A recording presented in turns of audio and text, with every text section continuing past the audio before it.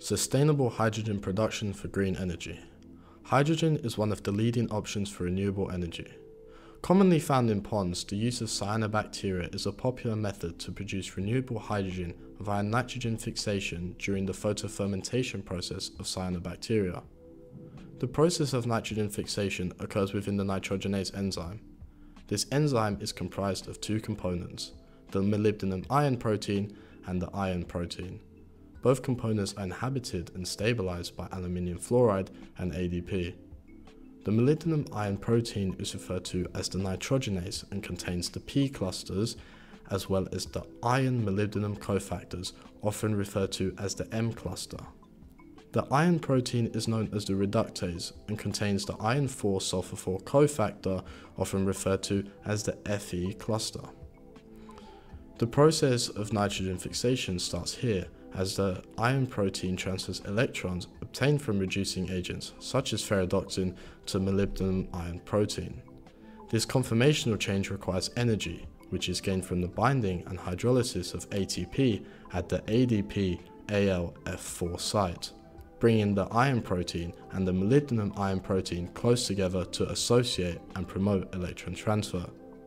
Electrons flow from the iron 4 sulfur 4 cluster within the iron protein to the P cluster within the molybdenum iron protein. Electrons are further transferred to the M cluster which allows for the completion of the ATP hydrolysis.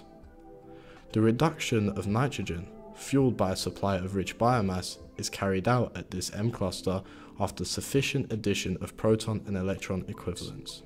This diagram here details the full cycle which involves 8 proton and electron transfers. The most notable step being the change between E3 and E4, as the transfer of 4 equivalents of protons and electrons results in the binding of nitrogen which subsequently displaces hydrogen as a byproduct. Two ammonia molecules are additionally released further down the molybdenum iron protein cycle as a primary product of nitrogen reduction. By operating solely on biomass instead of fossil fuels, the hydrogen produced can be considered green hydrogen.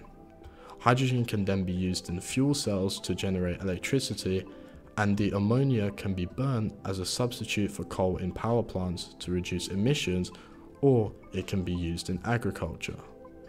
Research into increasing the efficiency of this process is currently ongoing, such as the use of vanadium iron nitrogenases as opposed to molybdenum iron nitrogenases. While its mechanism is still unknown, it's shown to be three times as effective. Thank you for listening.